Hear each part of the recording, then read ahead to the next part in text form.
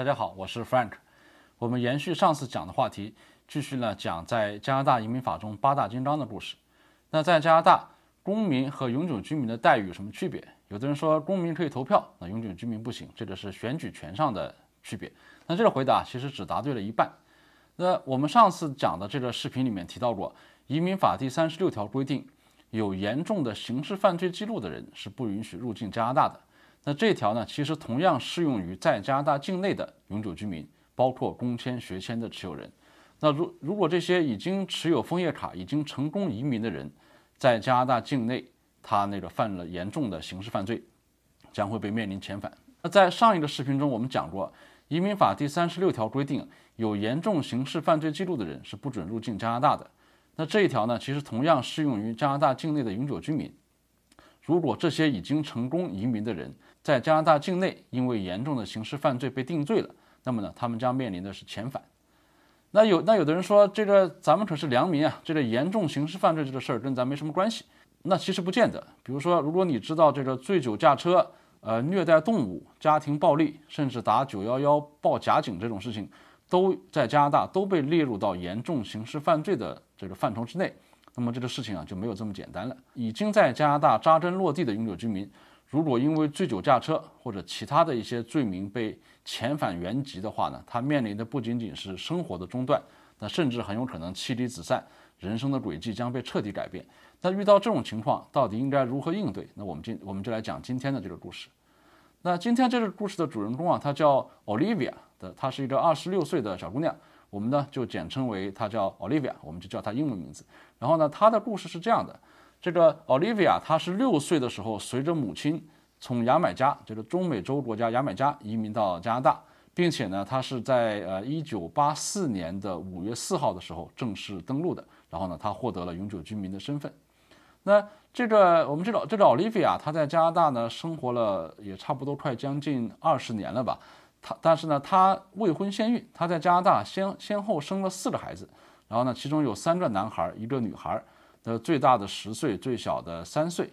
那可以推算出啊，加拿大这个 Olivia 在加拿大生第一个孩子的时候呢，才不满十六岁。那他的这个四个孩子，因为都是在加拿大出生的，所以呢，都是加拿大公民。那他这个这个 Olivia 他自己，他仍旧持有枫叶卡，他还没有入籍，但是呢，他的孩子们呢，都是加拿大公民。在二零零二年的八月九号，我们的这个 Olivia，他因为走私毒品，他走私了可卡因。因为走私毒品的罪名啊，被法院定罪判刑了。然后因为在判刑的时候呢，当时她是怀孕的，她是当时正怀着她第四个孩子，所以呢，她只被处以了十五个月的监禁，并且呢，她还是在监外执行的，就她没有被真正的关进去。那这个事情并没有因为这样结束，十五个月的刑期结束以后啊，因为她是犯的这个走私毒品的罪名，所以呢，它属于一个严重的刑事犯罪。那移民局根据移民法的第三十六条的规定呢，在二零零五年的三月七号向他下达了遣返令，下达给他下了一个这个 removal order，要求他限期之内离开加拿大，并且呢剥夺了他的这个永久居民的身份。那可能是出于隐私保护的目的啊，在这个移民局和法院公开的文档里面，并没有涉及到这个 Olivia 他太多的个人的经历或者背景，因此其实我也无法知道。我们这个讲的这个 Olivia，她到底是一个凶神恶煞的毒贩，她还是只不过是一个误入歧途的这个年轻母亲？我们无法知道她太太多的个人信息。那因为这个 Olivia，她在她六岁来加拿大，她在加拿大已经待了二十多年了，她对自己的故乡牙买加完全是彻底是陌生，她根本不知道这个国家怎么回事儿。那如果她被遣返回牙买加的话，他面临的不仅仅是生计问题，而且呢，被迫要跟他四个加拿大的这个公民的孩子分开。所以呢，这个这个事情发生以后啊，这个我们的 Olivia 呢，向加拿大的移民局，专门上次我讲过的这个负责上诉的这个移民难民委员会，也称为移民法庭，提出了这个 appeal，提出了上诉申请，希望呢不要把他这个呃遣送回到自己的原籍。那在讲这个事情之前呢，我需要讲一个法则，叫做 Rebik 法则。什么叫 Rebik 法则呢？就是我们常说嘛，杀人偿命，欠债还钱，对吧？法律的条文是非黑即白的，你干了什么事儿，判多少年。你触犯触犯了移民法第三十六条，你就被遣送。这个法律的这个条文呢是非常逻辑的，非常非常清楚的。可是实际上呢，现实世界是错综复杂的。移民法呢，它虽然明文规定了永久居民你犯罪了以后呢要面临遣返，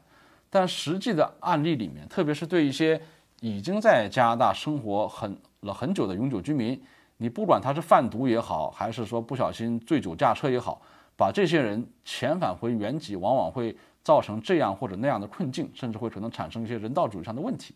那比如说，由于历史变迁，我们这个当事人呢，他可能他的原籍的国家已经不复存在了，对吧？他这个这个国家由于打仗或者由于其他的政治历史原因，他的国他那个他的国家已经没了，那你让他往哪去遣返呢？对吗？那另外呢，可能是由于他这个国家目前正在呃处于战乱，或者说遇到一些人道主义的危机，你把他给送回去，那你不是让他去送死吗？所以还有一些，比如说对于一些申请呃政治避难的一些政治难民。你把他给遣返回原籍，比如说有的人好不容易从北朝鲜逃出来了，你把他给遣返回回北朝鲜，那搞不好这个会被炮决的，对吧？所以这会有这种情况，会涉及到各种各样的，因为遣返可能给当事人的家庭、工作、健康，甚至生命带来巨大的不确定性和各种各样的问题。那所以说啊，其实移民法的这个法律啊，在加拿大，它移民法的立法的出发点和思路，它跟刑法不一样。刑法就是你你你犯你犯罪了，那么就是你处罚，你犯什么罪，你怎么处罚？移民法它其实是关于一部人的法律，对吧？它要它不仅要保证这个国家的尊严和完整性，移民法的严肃性，同时呢还需要保障人权。从以人为本的角度出发，那加拿大的这个立法机构啊，它就它需要也在立法的时候也充分考虑，我把这个人给遣返回去可能带来的一些困难处境。那我在以前的视频里面。好几次提到了移民法里面有这个人道同情和儿童利益的条款，我把它称之为加拿大移民法里的瑰宝。那在一些两难的遣返案例里面去，你你违法了，确实该遣返，可是你送回去，那那这个人就是死路一条。那在这种情况下，这些条款，这些法律里面的条款发挥了巨大的这个作用。那移民法第六十一条第一款规定，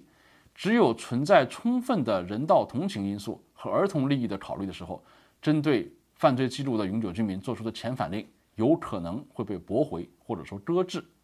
那什么叫做人道同情？什么叫做儿童利益？这两个定义其实是非常主观的。那么实际的案例呢？每个案子又不一样。那如何具体的把握它这个尺度呢？我说你这个遣返之后可能会出出会出事儿，可能会对家庭啊对生命产生威胁。那到底威胁到什么程度才可以不遣返？才可以取消你的遣返？才可以搁置你的遣返？这个事儿的把握尺度啊，其实是很复杂的。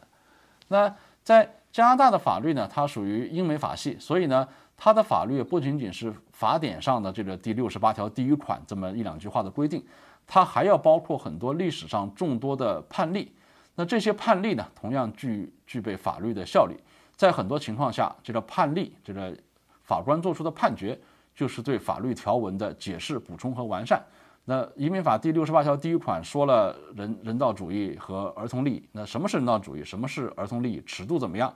根据历史上累积的法官的判例来具体来完善和解释这个条款。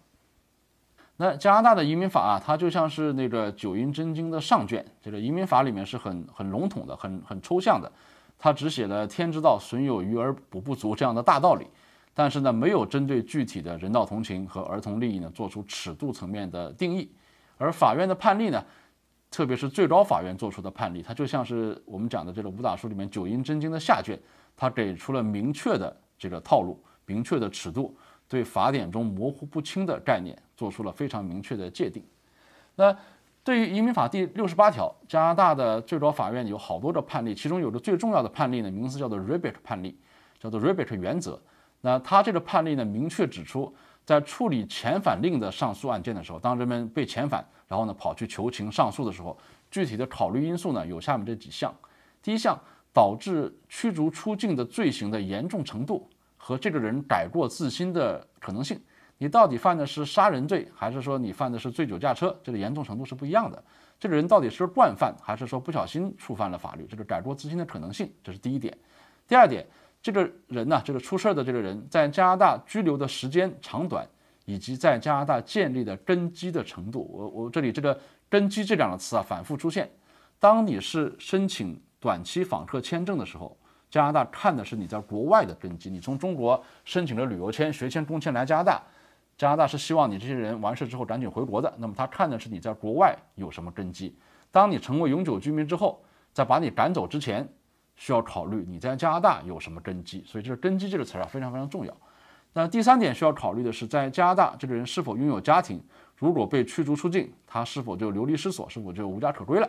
然后呢，这个当事人是否在家庭内部和所在的社区都得到了支持？这个这个邻里街坊，这个前后左右的这个邻居都说这个人其实挺好的，只不过不小心那天喝醉酒了，或者说不小心这个呃一时这个呃迷呃一时这个糊涂等等等等的，所以他要还要考虑这个人在家庭和社区里面是否得到认可和支持。最后需要考虑的是，在可能被遣返的国家所面临的一些困境的程度。加拿大的法律里面有几条，我记得是明确规定，有那么几个国家，像什么索马里之类的，有几个叙利亚，我具体忘记名字了，有几个国家是明确不对他进行遣返，哪怕这个国家的人在加拿大犯罪了，也不把他遣返到他自己的国家里面去，因为那因为那个国，因为那些国家正好处在战乱，或者说可能存在严重的人道主义危机。那即使他犯罪了，也不能也不能把他放送回去，让他去送死。所以这是有些具体的法律的规定。那从法定程序的角度来说啊，永久居民一旦收到移民局或者 CBSA 发出的遣返令，可以在三十天之内向这个呃移民法庭作出上诉，然后呢由这个上诉的这个呃移民法庭来裁决到底该不该去遣返他。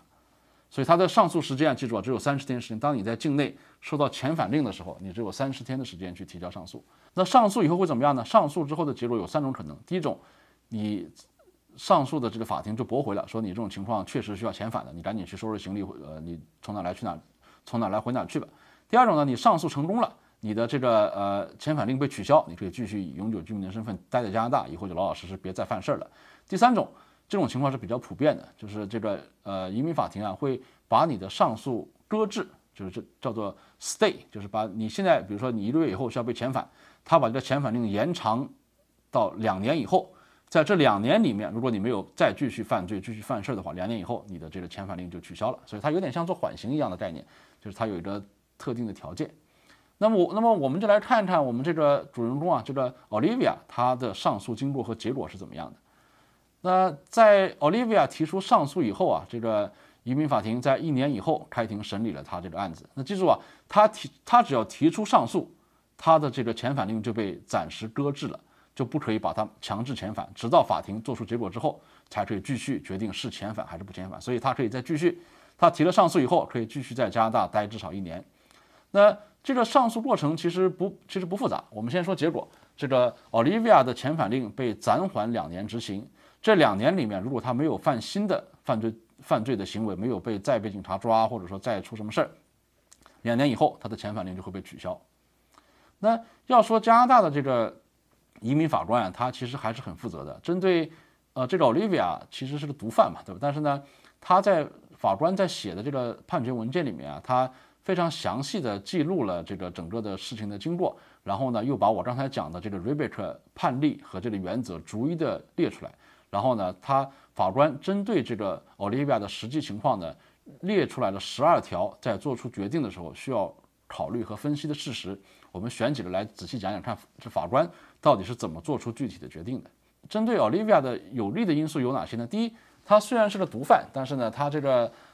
贩毒呢，他是初犯，他是第一次犯罪。然后呢，他当初的那个案件呢，距离呃移民法庭开庭呢，已经过去了六年了。在这六年之内呢，他没有犯任何其他的犯罪记录，所以他只是可能很有可能只是一时糊涂。然后呢，他过去的六年，过去的六年里面并没有吸毒、酗酒或者其他的不良记录，也没有任何的新的犯罪记录。所以呢，其实可以认为呢，法官这个时候就已经认为他是只是一时糊涂，并不并不是一个非常恶劣的呃屡教不改的一个惯犯。然后呢，Olivia 在加拿大已经居住了超过二十年的时间，他的整个的家庭。和社会关系的根基啊，全都在加拿大，并且非常关键的是，他有四个年幼的孩子，都是在加拿大出生，都是加拿大公民。而且呢，其中有一个孩子呢，他身体不太好，还患有一些比较严重的疾病，需要家人以及母亲的照顾。这个是一个法官呃同情呃奥奥利维亚的一个非常非常重要的因素。那对他不利的因素有哪些呢？第一，他的这个贩毒，他贩的不是大麻，大麻在加拿大是合法的，他贩的是可卡因。